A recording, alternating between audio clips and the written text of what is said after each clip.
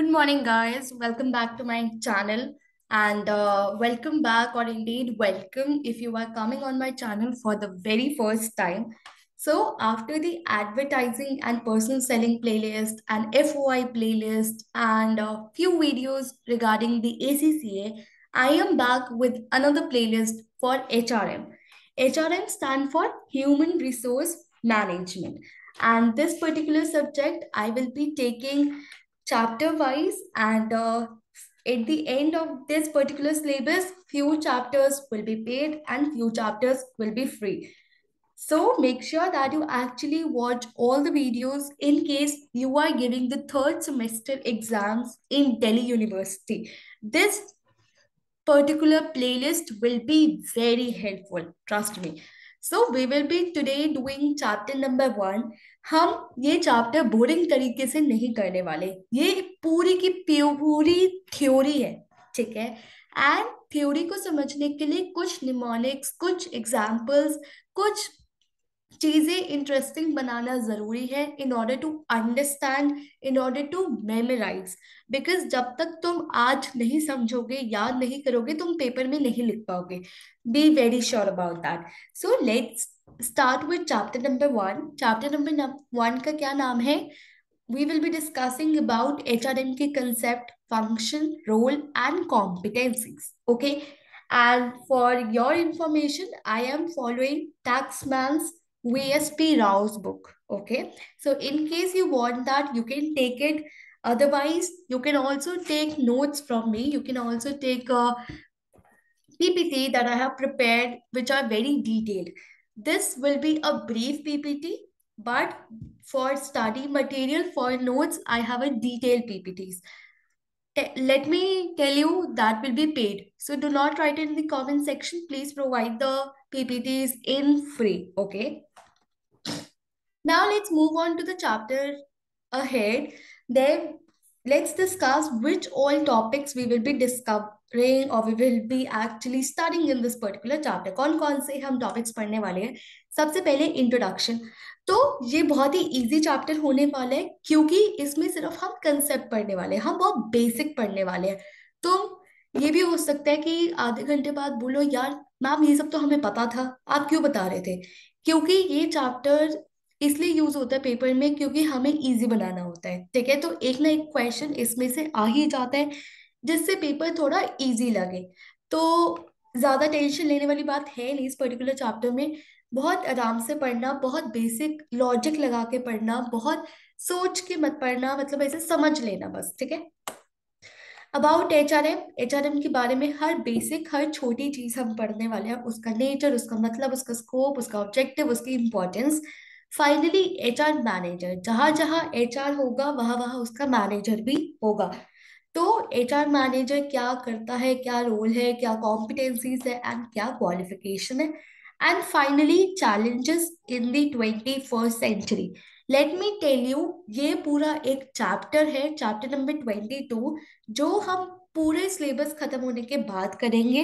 But ये challenges तुम्हें हर chapter में दिखाई देंगे। तो make sure that you understand the challenges मतलब अगर तुम आज भी खुद एग्ज़ाम्पल लेके चलो तो तुम कितने सोच पाओगे? खुद ही सोचो कि एक बंदा, अगर लेट से मैं ई वाई में जा रही हूँ, ठीक है? तो ई वाई वालों को क्या चैलेंजेस आने वाले हैं या मुझे क्या चैलेंजेस आने वाले हैं एज एन एम्प्लॉय ओके और ई वाई वालों को क्या चैलेंजेस आने वाले हैं as a employer okay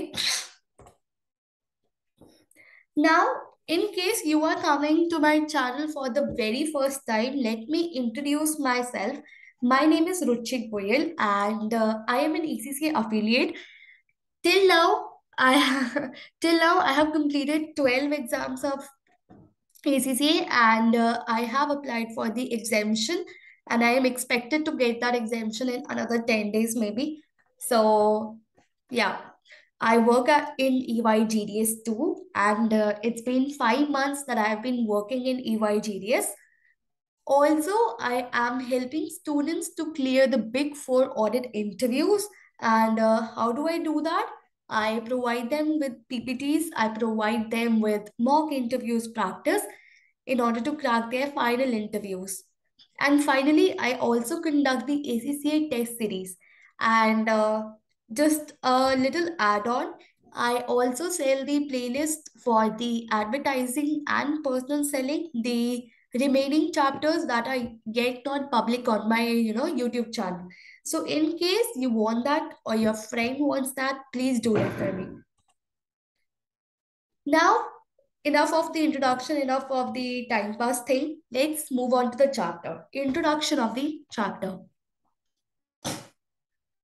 First thing first एक इंसान, एक एचआर एक human employ is the biggest asset for the company वो कंपनी को बना भी सकता है और वो कंपनी को बिगाड़ भी सकता है।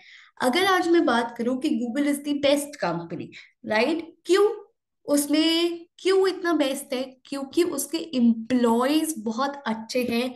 They are coming up with the new ideas they are implementing it okay तो उनकी नॉलेज उनकी employees are the biggest asset right her company की सबसे इंपॉर्टेंट क्या होती है? एक एम्प्लॉयर्स के। वो ही हमारे कस्टमर्स को वैल्यू डिलीवर करने वाले हैं at the end of the day okay so my employees are the biggest asset and why do you think they are important मतलब मैंने कह दिया कि चलो एम्प्लॉयज़ ज़रूरी है बट तुम्हारे दिमाग में आएगा, मैम, इतनी क्या ज़रूरी है वो? So why they are important? Because they will be coming up with the new ideas. They will be giving me suggestions that this needs to be done, this needs to be done, right? They are the ones who will be delivering satisfaction to the customer. Now, कभी कभी ऐसा भी होता है let's say आज मैं अगर अपनी कंपनी के साथ थोड़ी अटैच्ड हूँ तो I may work on Saturday Sunday I am ready to go extra mile for my company so इससे कंपनी का फ़ायदा है. But right right? क्यों ऐसा हुआ? क्यों कंपनी अपने गोल्स अचीव कर पाई? क्योंकि I was ready to go a extra mile just like me there are few employees there are hundred of employ who are ready to go extra mile to deliver customer satisfaction. So at the end of the day किसका नाम हो रहा है? Company का। But किसकी वजह से हो रहा है? इम्प्लॉयज की वजह से। And they will give me competitive edge now एक कंपनी का ना ब्रांड वैल्यू बन जाती है।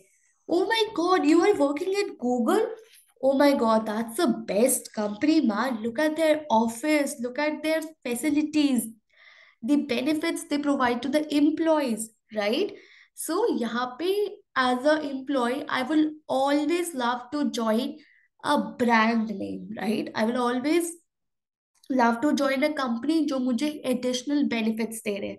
तो ये सब कब होगा? जब मेरे पास एक अच्छे स्टाफ होंगे तभी मेरा एज एन एम्प्लॉयर भी मन करेगा कि चलो I will provide you with an extra services तो that is how they it will provide me the competitive name the brand name the fame name now what is HRM HRM को बहुत easy से समझते हैं.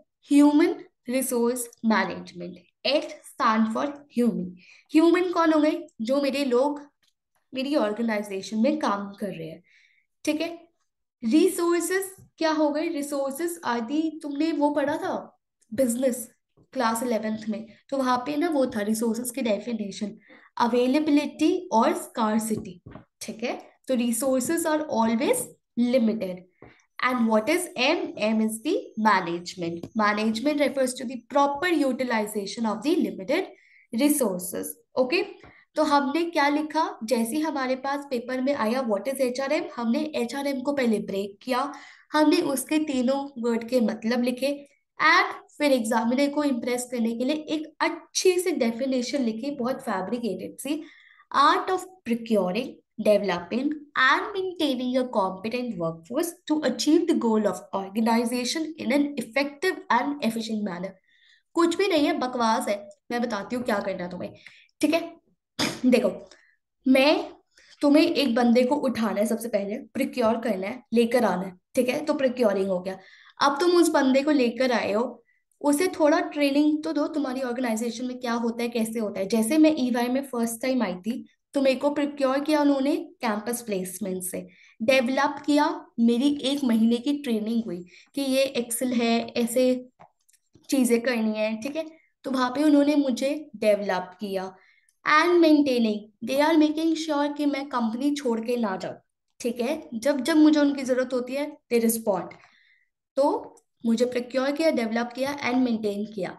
अब मैं ये तो नहीं बोलूँगी ह्यूमन रिसोर्स थोड़ा सा अच्छा वर्ड बनाने के लिए कॉम्पिटेंट वर्कफोर्स कुछ नहीं कह रहे लेबर कह रहे हैं बट अच्छे वर्ड में कह रहे हैं। ठीक है? कॉम्पिटेंट वर्कफोर्स अब ये सब कंपनी कर क्यों रही है? ये सब कंपनी इसलिए कर रही है क्योंकि उसने अपने गोल्स अचीव करने ओके ये तो तुमने क्लास ट्वेल्थ में हर जगह लिखा होगा। In an effective and an efficient manner okay तो हो गया याद art of procuring developing and maintaining labour का थोड़ा फैब्रिकेटेड वर्क कॉम्पिटेंट वर्कफोर्स क्यों लाया मुझे? जैसे गोल्स अचीव हो पाए। एंड ट्वेल्थ के वही fabricated word effective and efficient manner okay now nature of H R M nature पढ़ लेते हैं। कुछ पॉइंट्स है, ठीक है? उसके लिए एक निमोनिक है if acid okay remember this mnemonic बहुत इजी हो जाएगा। एंड तुम्हें इससे छह नेचर के पॉइंट्स याद भी हो जाएँगे। I stand for individual oriented now as an employer मैं चाहती हूँ कि मेरा एच आर एम मेरा ह्यूमन रिसोर्स बेस्ट काम करे उनकी पूरी की पूरी कैपेबिलिटीज निकल के आए उनकी पूरी की पूरी एफिशिएंसी निकल कर आए। सो so, मैं उन्हें चूज़ लेती हूँ I try to get best out of my employee right F stand for future oriented future oriented okay I am preparing my employees जिससे वो आज की नीड्स तो पूरी कर पाए बट फ्यूचर में आने वाले चेंजेस भी वो you uh, know you know, उसके हिसाब से फ्लेक्सिबल हो उनके हिसाब से अडेप्ट कर पाए। ठीक है? सो ई वाई में आज के लिए ट्रेनिंग तो हो ही रही है बट फ्यूचर में आने वाले चेंजेस लेट से मेटावर्स इन सब के लिए वो वो मुझे प्रिपेयर कर रहे हैं। Okay action oriented action oriented मैं चाहती हूँ कि मेरे एम्प्लॉयज़ एक्शन लें। ये नहीं कि रिकॉर्ड पहले रिकॉर्ड पहले अप्रूवल ठीक है, सारे रिटर्न प्रोसीजर रूल्स देखे जा रहे no I want them to take action ठीक है? जो काम उन्हें असाइन हुए हैं, फटाफट करे और एक्शन ले। सी कॉन्टिनेंस फ़ंक्शन ये नहीं है कि मैंने आज काम किया तो मैं कल नहीं करूँगी राइट या मैंने एक हफ़्ता काम कर लिया, बस यार, अब मैं ना एक हफ़्ते की छुट्टी पे जा रही हूँ। ऐसा तो नहीं होता। सो so, ये वन शॉट डील नहीं है ठीक है? ऐसा नहीं है कि एक घंटा प्रैक्टिस किया एम्प्लॉय एच आर एम अच्छे से मैंने अपनी पूरी कंपनी में बट मैं एक दिन के लिए छोड़।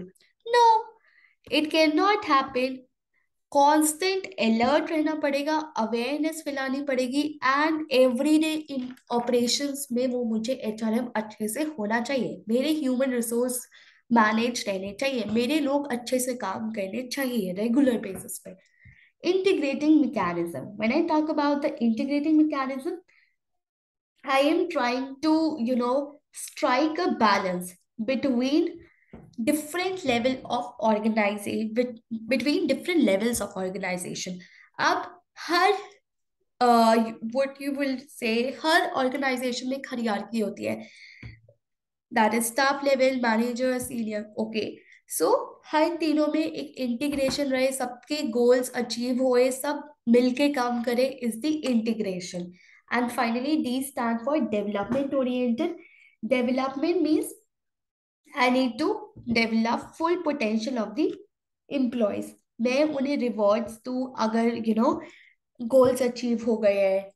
ट्रेनिंग दू उनकी स्किल्स इंप्रूव करूँ. So it is always about the development of an individual now let's talk about the scope scope तीन ही होते हैं. First of all personal aspect personnel क्या स्कोप होता क्या है? स्कोप होता है जो भी एक्टिविटीज़ मेरे एच आर एम के बैनर के नीचे आती है. Okay okay? बहुत बड़ा स्कोप है एच आर एम का. First of all is the personnel personnel मतलब इंसान पर्सनल ठीक है? मैन पावर तो मैन पावर का क्या हो गया? Planning recruitment selection placement transfer promotion training development सब जो मेरे एक एम्प्लॉय से रिलेटेड है. वेलफेयर वेलफेयर मतलब हो गई अच्छा इन्वायरमेंट ओके माइक्रोसॉफ्ट का ऑफ़िस देख लो और एक स्टार्टअप का ऑफ़िस या कोई छोटी कंपनी का ऑफ़िस देख लो. The working conditions will be different entirely different. The facilities that i provide them the transport the medical the safety, health, education, ये सब फैसिलिटीज़ जो मैं उन्हें दे रही हूँ. And finally the industrial relation industrial relation जहाँ भी मैं बात करूँगी मैं बात करूँगी अपने ट्रेड यूनियंस की बार्गेनिंग पावर की डिसिप्लिनरी प्रोसीजर्स की डिस्प्यूट्स कैसे हैंडल होते हैं यूनियन मैनेजमेंट रिलेशनशिप्स कैसे है. Okay okay?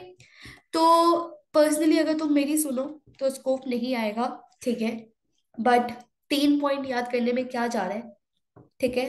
विप याद कर लो W I P okay welfare industrial and personnel ना what are the objectives of H R M ये मैं इसका पीछे का ऑब्जेक्टिव है क्या? Okay why am I doing doing this इतना मैं पैसा क्यों वेस्ट कर रही हूँ अपने ऑर्गेनाइजेशन में लोगों के ऊपर? ठीक है? इसका निमोनिक्स है एसी गेम तो अभी तक हमने दो निमोनिक्स पढ़े थे that is if acid and whip this is for AC game AC आ गया. A stand for attract and retain talent so मेरा ऑब्जेक्टिव है लोग भागे ना, ठीक है? नए नए लोग तो आए बट जो है वो भी ना भागे. तो I want to attract new people but I also want to retain the talent C game competitive advantage अगर मेरी कंपनी में बेस्ट टैलेंट काम कर रहा होगा तो ऑब्वियसली वो बहुत अच्छे आइडियाज़ के साथ आएँगे, बहुत अच्छी सजेशन के साथ आएँगे, जिससे मैं कुछ नई टेक्नोलॉजी डेवलप कर पाऊँगी या कुछ ऐसा कर पाऊँगी जो मुझे मेरे कॉम्पिटिटर से आगे बढ़ा दे।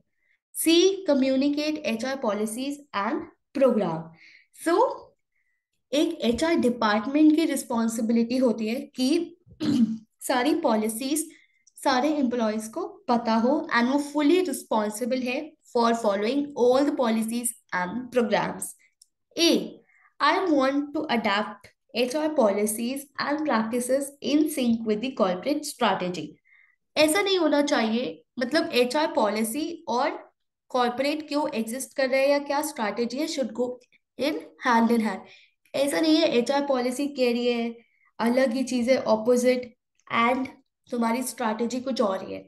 No this should not happen they should go in hand in hand I want H R M to work its best because मुझे अपने लोगों को मोटिवेट करके रखना है। मुझे उन्हें रिवॉर्ड देना है इंसेंटिव्स देनी है। लोग खुश रहने चाहिए मेरी ऑर्गेनाइजेशन में।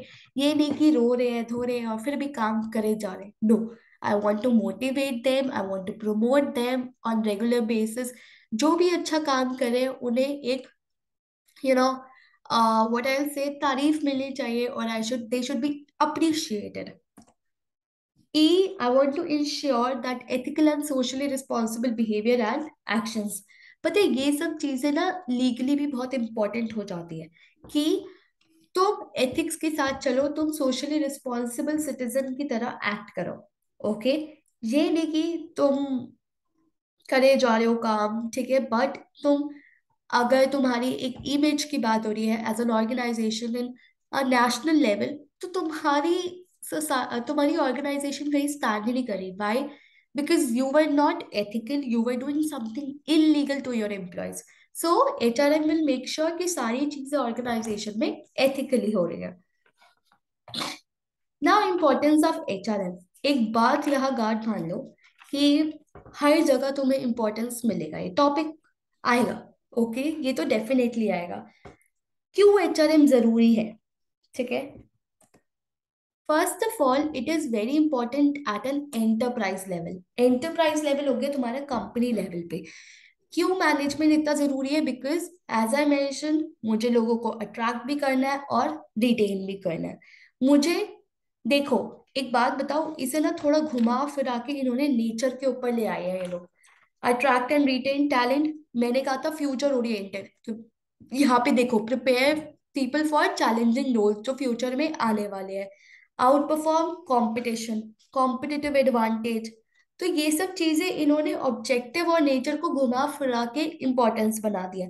तो you should also act smart कि तुम हर हेडिंग के अंदर पॉइंट्स नहीं याद कर रहे हो। अगर पॉसिबल है तो पहले वाले याद चीज़ों में से ग्राब कर रहे हो ओके क्रिएटिविटी ठीक है? That is related to the development effectively and efficiently कहा पढ़ा था हमने? मीनिंग में डेफिनेशन में। तो ये सब चीज़ें ऐसे काम आएँगी। इंडिविजुअल लेवल पे क्यों ज़रूरी है? एज एन एम्प्लॉय ये सब चीज़ें क्यों ज़रूरी है? बिकॉज़ मैं चाहती हूँ मेरी टीम बहुत अच्छी हो मोटिवेटेड हो स्पिरिट हो अपॉर्चुनिटी मिले ग्रोथ ऐसा नहीं है कि एक, दो साल पहले सीनियर ज्वाइन किया था और अभी भी सीनियर पे ही पढ़ी हूँ। ठीक है? And I should work with digitals and commitment at a national level ये सब चीज़ें क्यों ज़रूरी हो जाती है? Because I want to make sure कि मेरे नेशन के रिसोर्सेज एक्सप्लॉयट ना हो ओवर एक्सप्लॉयटेशन ना हो. एक एम्प्लॉयमेंट अपॉर्चुनिटीज़ प्रोवाइड होती है, ठीक है? And of course, the standard of living rises. If you are, if the maximum percentage of the population is working, okay, is earning. So, standard of living will automatically get raised. ठीक है, सब अच्छे से रहेंगे scars talent होगा but बहुत अच्छे से लेवल पे उसे डिप्लॉय किया जाएगा ओके नाउ ये मैं पहले बता चुकी हूँ, अगर तुम प्रिपेयर कर रहे हो तो you can contact you can buy the PPT you can give us the mock interviews and in case you want to check the pricing you can check the video on my channel now let's talk about functions of hr manager this is very important trust me ये इस chapter का सबसे important part है बाकी सारे आने वाले topics थोड़े है बट लेस इम्पोर्टेंट है but this is very important managerial functions managerial functions के लिए मैंने निमोनिक्स बनाया पीओएसटीसी managerial, थोड़ा दिमाग लगाओ कहाँ से आ रहा है? मैनेजमेंट। बिज़नेस स्टडीज़ पढ़ी थी? मैनेजमेंट के कुछ स्टेप्स पढ़े थे। पूरी बिज़नेस स्टडीज़ की बुक उस पर थी। Planning, organising, directing, staffing and controlling. Okay? अब ये नहीं बताऊँगी, ये हम सब पढ़कर आए हुए हैं क्लास ट्वेल्थ में। प्लानिंग क्या होता है, ऑर्गेनाइजिंग क्या होता है, डायरेक्टिंग क्या होता है, कंट्रोलिंग क्या होता है, एंड स्टाफिंग क्या होता है। राइट? आई होप ये सबको आता होगा। Now operative functions operative function में सबसे पहले आते हैं प्रिक्योरमेंट मुझे लोगों को लाना है, ठीक है? Procurement is considered with concern with your hiring people okay जिनके पास सही लेवल के स्किल है नॉलेज है एप्टीट्यूड है, मैं उन्हें प्रिक्योर करूँगी। Finally the development function development मतलब आई मैं उन्हें ले तो आई हूँ but according to my strategy my needs I am going to develop them I will provide them with trainings I will provide them learning techniques knowledge right motivation and compensation function motivation में मैं उन्हें appraisal दूँगी recognition दूँगी achievement दूँगी, ठीक है? Incentives दूँगी work scheduling अच्छा होना चाहिए। मेंटेनेंस मेंटेनेंस क्या हो गई? एक इंसान का मेंटेनेंस क्या हो गया? उसका हेल्थ राइट तो I should provide them with the health welfare measures कैसे? Health safety employee welfare right उनका psychological you would believe EY also provides you with the counseling services. In case you want, you know, to discuss something. So they will provide you with a counselor. So these are all come under actually your maintenance function. Social security. Let's say, obviously, I get something benefit, medical benefits. So those come under your social security benefits. And finally, the integration. Integration is actually trying to integrate the goal of the organization with employees expectations right so, अगर किसी employ को शिकायत है तो मैं एक grievance cell होगा, एक कंप्लेन सेल होगा, एक कंपनी में there I can go and complain so this is how things work अब हम ये सारे फ़ंक्शंस को थोड़ा डिटेल में पढ़ते हैं। कौन कौन से थे? प्रोक्योरमेंट डेवलपमेंट राइट सबसे पहले ऑपरेटिव फ़ंक्शंस के अंडर प्रिक्योरमेंट फ़ंक्शंस आते हैं। प्रिक्योरमेंट मतलब मैं लोगों को लेकर आ रही हूँ ठीक है? I would suggest you to actually take a snip of this particular slide because this is very important and मैंने सारी चीज़ें एक टेबल में इंटीग्रेट करके रख ली है। अगर तुम पढ़ोगे तो ये पेज तीन चार पेजेस का है बुक में बट हम एक ही स्लाइड में सारी चीज़ें याद करने की कोशिश कर रहे हैं। एंड ट्रस्ट मी तुम्हें सब आता है, बस तुम्हें एक एक दो दो लाइन लिखनी है अपने पेपर में घुमा फिरा के। जॉब एनालिसिस नहीं लिख पाओगे। जॉब एनालिसिस क्या होता है? किसी चीज़ का एनालिसिस करना। किसकी बात हो रही है? एचआरएम की। कौन से फ़ंक्शन के अंदर आ रहा है? प्रोक्योरमेंट के अंदर। तो यहाँ पे मैं क्या करूँगी? I am collecting the information ठीक है? Relating to the operation responsibility जो उस पर्टिकुलर जॉब से रिलेटेड है। रिक्रूटमेंट सबको पता है रिक्रूटमेंट क्या होता है? Right right? मैं लोगों को ढूंढूँगी और मैं लोगों को अपनी कंपनी में जॉब्स के लिए अप्लाई करने के लिए बोलूँगी। Right selection placement placement is like process that ensures that matching जो हमने एम्प्लॉय सेलेक्ट किया है, वो बिल्कुल मैचिंग स्किल्स का है ओके एक्सपीरियंस है इंटरेस्ट है okay H R planning process of determining and ensuring that organisation में जितने लोगों की ज़रूरत है, उतने लोग मेरे पास है। Right right? तो ये सब तुम बहुत आसानी से लिख सकते हो। Still if you need help you can just write in the comment section इस चार पाँच पेजेस का मैंने एक पीडीएफ बनाया हुआ है, छोटू सा। तो तुम उसे थोड़ा डिटेल में पढ़ोगे, तुम्हें समझ में आ जाएगा। बट ट्रस्ट मी उसकी ज़रूरत नहीं है। एक एडेड प्रेशर हो जाएगा। तुम अपने हिसाब से ये सब चीज़ें लिख सकते हो Now let's move on to the next topic that is issues of HRM. What are certain issues that uh, you know you face as a HRM? First of all is the HR research.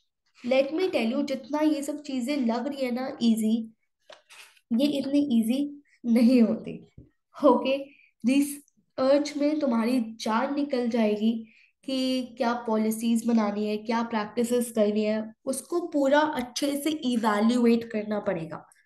Information system आज के time में your technology is very very rapid innovations आ रही है। बहुत rapid innovations right तो तुम्हारी efficiency maximum आए। इसलिए सारा डेटा कंपाइल किया जाता है।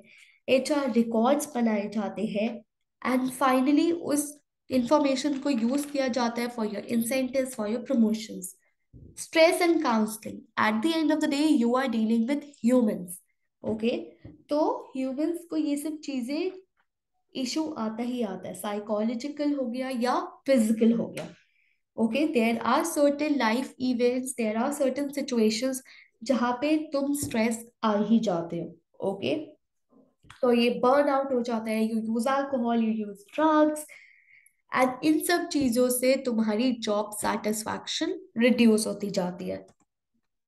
इंटरनेशनल एच आर मैनेजमेंट चलो ठीक है, मैंने ये सब प्रॉब्लम्स ओवरकम कर ली, ठीक है? बट आज मेरा, आज मेरी कंपनी जा रही है यूएस वहाँ के लोगों को मैनेज करना एंड इंडिया के लोगों को मैनेज करना requires completely different attitude okay so हर जगह अपना मैनेजमेंट बिल्कुल सही तरीके से रखना is also very difficult because company global level पे आना चाहेगी। That is the ultimate aim of the organisation कि हम एक्सपैंड करें ओके सो वहाँ पे भी बहुत सारे चैलेंजेस आने वाले हैं उनके यू नो रिचुअल्स उनका एनवायरमेंट उनका ओरिएंटेशन ट्रेनिंग सब कुछ इंटरनेशनल लेवल पे और मुश्किल बन जाता है। डाउन साइजिंग पता है तुम्हें क्या होता है? जो अभी अभी बाइजूस ने किया है। ठीक है? Downsizing is cutting down the number of organi- uh, number of employees in the organization क्यों करा होगा? सबके सबके अपने रीजन होते हैं। बाइजूस ने क्यों किया क्योंकि उसे कॉस्ट रिड्यूस करनी थी। ये तो हर बच्चे को पता है कि जहाँ ऑर्गेनाइजेशन की बात आएगी, वहाँ डाइवर्सिटी की बात आएगी ही आएगी। हर तरीके के बंदे काम करते हैं एक ऑर्गेनाइजेशन में। In terms of race sex culture national organise origin handicap age religion so सबको एक साथ चलाना is also a big issue this is very easy थोड़ा अपना दिमाग लगाओ। सब चीज़ें समझ में आ जाएगी। ठीक है? Role of H R manager हमने एच आर एम वाला पार्ट खत्म कर लिया है। अब फाइनली हम किस पे आ गए हैं? सेकंड सेगमेंट पे। That is H R manager क्या क्या रोल होता है? मेरी कंपनी में एक एच आर मैनेजर क्या, काम कर रहा है। क्या क्या एक्सपेक्ट करो उससे? First of all is the admin role admin role के लिए एक निमोनिक्स है, चावल। ठीक है। अगर तुम्हें याद करना है तो you can actually in this particular manner C से आ गया तुम्हारा counsellor so I expect my you know H R manager to be a good counsellor to guide people to discuss their issues related to the challenges they are facing, related to work, related to careers, related to their health, family, everything. H stand for housekeeper. Housekeeper personal manager से expect करता है कि you know you should be included in everything in recruiting, in reference check, in pre-employment, in service, in wages, salary, admin benefits, pension, admin wellness programme maintenance of records so जैसे एक house keeping person पूरे घर का ध्यान रखता है वैसे एक मैनेजर पूरे एचआर डिपार्टमेंट का ध्यान रखेगा एडवाइजर एच आर मैनेजर की एडवाइस को एक्सपर्ट एडवाइस बोला जाता है, ठीक है? तो they are expected to give the best level of advice they are expected to you know solve disputes reward management and implement policies and everything A stand for administrative expert okay. Now, the whole role of the HR manager is towards the processing and record keeping. ठीक है? तो उस बंदे का क्या क्या काम होगा कि employ files benefit claims leave update करना मेडिकल रिकॉर्ड्स रिपोर्ट प्रिपेयर करना, ये सब चीज़ें उसके ही अंडर आती है। And finally the welfare officer उसे ये भी एक्सपेक्ट किया जाता है that he is a welfare officer of the company so so, वो ही सबका ध्यान रखेगा सबकी हेल्थ सबकी सेफ्टी सबका वेलफेयर ओके सो अगर वो किसी भी चीज़ को ओवर लुक कर जाता है तो he will be under you know very strict rules and regulation so H R manager बनना is actually not it all an easy task you are expected to do a lot of thing lot and lot of thing now next the operational roles operation roles के अंदर you act as a trainer, development motivator, employee champion, mediator, recruiter. ये सब चीज़ें ना तुम्हें नाम से clear हो रही है ओके? इसलिए मैं ज़्यादा ध्यान नहीं दे रही हूँ रिक्रूटर में मैं चाहूँगी कि यू नो बेस्ट लोग आए मेरी ऑर्गेनाइजेशन में राइट हमें अपने एक्सपीरियंस को अच्छे से यूज़ करना चाहिए करियर पाथ हम नए नए टैलेंट्स तो रिक्रूट कर रहे हैं बट फाइनेंशियल बर्डन ना बढ़े कंपनी के ऊपर okay strategic roles strategic roles मतलब हो गया जो वो टॉप उस पे टॉप लेवल पे कुछ डिसीजंस लेते हैं and finally change agent and strategic partner. These come under the strategic roles. Okay. ये ना मैंने इसलिए जल्दी जल्दी पढ़ा दिया because I think admin and operation role के अलावा तुम्हारा इतना कोई नहीं आता ज़्यादा, ठीक है? But still if you want to do it you can do it competencies of HR manager. इसका निमोनिक्स है TIDE okay this is how you are going to learn the competencies of H R manager क्या क्या उसमें चीज़ें होनी चाहिए क्या क्या उसमें स्किल्स होने चाहिए in order to become the H R manager first of all he should be experienced obviously एक मैनेजर मैनेजर आठ साल या पाँच साल के एक्सपीरियंस के बाद बनता है। ठीक है? ट्रेनिंग मैनेजर बन गया बट नॉलेज है स्टाफ लेवल की। इससे नहीं चलेगी तुम्हारी company you should actually train them very very very nicely. Okay? हर चीज़ में साइकोलॉजिकल लेवल पे, हर चीज़ पे एंटरप्राइज की हर चीज़ मैनेजर को बतानी चाहिए। Intelligence he should be very intelligent when I say intelligent he should be able to communicate H R manager को बहुत लोगों से बात करनी पड़ती है। So he should have a you know communication skill he should have a decision making power ठीक है? स्किल होनी चाहिए। ये नहीं कि जब भी डिसीज़न की बात आए, तुम कंफ्यूज खड़े हो। लर्निंग एंड कोचिंग स्किल्स उसमें ऐसी स्किल होनी चाहिए कि वो चीज़ें समझ पाए खुद एंड सिखा भी पाए। कोचिंग स्किल ये नहीं कि तुमने सीख तो लिया बट तुम अपने लोअर लेवल को सिखा ही नहीं पा रहे हो। राइट तो उसका भी कोई फ़ायदा नहीं है। Leadership leadership you should be a good leader you should not be a good dominator. Okay so, you should be able to lead the team leader. Be a leader. Be a role model. You should do everything in an ethical attitude. You should not do anything which is illegal. Because तुम तो आओगे ही आओगे you know मुसीबत में legally but तुम्हारी company का नाम भी खराब होता। है डिस्क्रिमिनेटिंग अब as a H R manager I want कि यू नो मेरी कम, मेरे काम सिर्फ़ लड़कियाँ करें लड़के ना करें। You should not be you should not discriminate your juniors और योर कलीग्स एनीथिंग ओके तो ये सब बहुत बेसिक चीज़ें हैं। ऑब्वियसली अगर मैं एक टॉप बंदे को सोच के चलूँ, मैं अपना मैनेजर कैसा चाहूँगी, मैं ये सब चीज़ें उससे चाहूँगी चाहूँगी right qualifications not at all important. पढ़ लो but this is not at all important ignore अच्छे से ignore now this is important H R challenges in the twenty first century now हम क्या क्या चैलेंजेस फेस कर सकते हैं, ये पढ़ लेते हैं। फ़र्स्ट ऑफ़ ऑल उसके लिए निमोनिक्स है dotted D diversity as I mention एक ऑर्गेनाइजेशन में बहुत ज़्यादा डाइवर्सिटी होगी, हर तरीके के लोग काम कर रहे होंगे। सबको मिलाना is not an easy task organisational dynamics again same point but different wordings ठीक है?